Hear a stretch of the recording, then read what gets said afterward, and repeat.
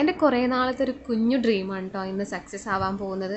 അപ്പോൾ ഞാനിവിടെ കാര്യമായിട്ട് പെന്നും ബുക്കൊക്കെ എടുത്ത് എഴുതുന്നത് കണ്ടാൽ ഞാൻ പഠിക്കുകയാണ് എന്നൊക്കെ തോന്നിപ്പോകും. പക്ഷെ പഠിക്കുകയൊന്നല്ല കേട്ടോ ഞാൻ പല യൂട്യൂബേഴ്സും ചെയ്യുന്നത് കണ്ടിട്ടുണ്ട്. യൂട്യൂബേഴ്സ് എന്നല്ല പൊതുവേ നമുക്ക് നമ്മുടെ കാര്യങ്ങൾ ഈസി ആക്കാൻ വേണ്ടിയിട്ടാണ് ഞാൻ ഹോസ്റ്റലിലാണ് പോയി പഠിക്കുന്നത്. അപ്പോൾ എറണാകുളത്താണ് കേട്ടോ പഠിക്കുന്നത്. മലപ്പുറം ടു എറണാകുളം അത്ര ദൂരം എന്നല്ല എന്നാൽ പോലും ഇത്ര ഷോ വേണമെന്ന് ചോദിച്ചാൽ എനിക്ക് തോന്നുന്നത് വേണം. അല്ലെങ്കിൽ നമ്മളെ കാര്യങ്ങളൊക്കെ ഭയങ്കര ഡിസോർഡർ ആയി പോകും അതുകൊണ്ടാണ് കേട്ടോ അങ്ങനെ ചെയ്യുന്നത്.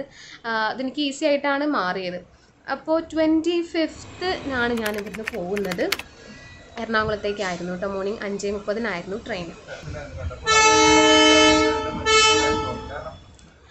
അപ്പോൾ ഇതാ സിൻട്രബെ സ്കൂൾ ഓഫ് ഫാഷൻ ഡിസൈനിങ് എറണാകുളത്ത് കലൂരാണ് വരുന്നത്. കോളേജിനെ കുറിച്ചുള്ള ഡീറ്റെയിൽസ് ഒക്കെ ഞാൻ പിന്നീട് കൂടുതലായിട്ട് പറയാം. പിന്നെ നമ്മൾ അവിടെ നിന്ന് അച്ഛനും അമ്മയും കൂടെ വന്നിരുന്നു. അപ്പോൾ ഞങ്ങളെല്ലാവരും കൂടെ ജസ്റ്റ് മറൈൻ ഡ്രൈവ് ഒക്കെ പോയി. ലുലു മാൾ പോയി. അമ്മ ആദ്യമായിട്ടാണ് കേട്ടോ എറണാകുളത്തേക്ക് വരുന്നത്. അപ്പോൾ അമ്മയ്ക്ക് ഭയങ്കര എക്സൈറ്റിംഗ് ആയിരുന്നു.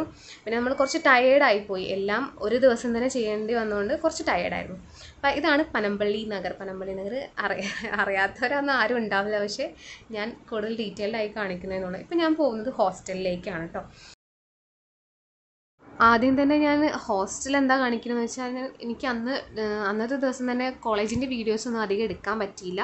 അപ്പോൾ വൈകാതെ തന്നെ കാണിക്കുന്നതാണ് കേട്ടോ അപ്പോൾ മനോരമ ജംഗ്ഷനിലാണെന്ന് ഞാൻ പറഞ്ഞല്ലോ. അപ്പോൾ എന്റെ ഹോസ്റ്റലിന് എനിക്ക് ഭയങ്കര എക്സൈറ്റിംഗ് ആയി തോന്നിയത് ഒരു ഫാക്ടറുണ്ട് അപ്പോൾ അതും കൂടെ ഞാൻ കാണിക്കാമെന്ന് കരുതി.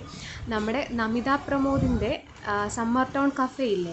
അതിന് തൊട്ടടുത്തായിട്ടാണ് കേട്ടോ വരുന്നത് നമ്മുടെ ഹോസ്റ്റൽ അപ്പോൾ ഞാനും എന്റെ കസിനും കൂടെ വന്നപ്പോൾ നമ്മൾ അവിടെ നിന്ന് കയറിയിരുന്നു കുറച്ച് എക്സ്പെൻസീവ് ആണ്. കുറച്ച് നല്ല കുറച്ചധികം എക്സ്പെൻസീവ് ആണ്. എന്നാലും ക്വാളിറ്റിയും ക്വാണ്ടിറ്റിയും ഭയങ്കരമായിട്ടുണ്ട് അപ്പോൾ ഇറ്റ്സ് വർത്ത് എന്ന് പറയാം. അപ്പോൾ അതാണ് എനിക്കിഷ്ടം. ഞാൻ നമ്മൾ പുറത്തേക്ക് ഇറങ്ങുമ്പോൾ എപ്പോഴും ഒന്ന് നോക്കും. ഇതുണ്ടോ എന്നൊക്കെ. പക്ഷെ ഇതുവരെ കാണാൻ പറ്റിയിട്ടില്ല. അതാണ് കണ്ടോ തൊട്ടടുത്താണ്. സമ്മർ ടൗൺ ഇതാണെന്നുണ്ടെങ്കിൽ അതിന്റെ തൊട്ടടുത്താണ് ഇത് ഈ ഗ്രീൻ പെയിന്റ് അടിച്ചതാണ് എന്റെ ഹോസ്റ്റൽ എന്ന് പറയുന്നത്. നമിത പ്രമോദിന്റെ അച്ഛനെ കാണാറുണ്ട് പക്ഷേ നമിതയെ ഇതുവരെ കണ്ടില്ല. അപ്പോൾ നമ്മൾ ഇടയ്ക്ക് ഇറങ്ങുമ്പോൾ നോക്കും എല്ലാ സെലിബ്രിറ്റീസും വരുന്നുണ്ടോ എന്നുള്ളത്. ഇത് എന്നെപ്പോലുള്ളവർക്ക് ഉണ്ടാവുള്ളൂ ഇവിടെ താമസിക്കുന്നവർക്ക് അത്ര എക്സൈറ്റ്മെന്റ് ഒന്നും ഞാൻ കണ്ടിട്ടില്ല.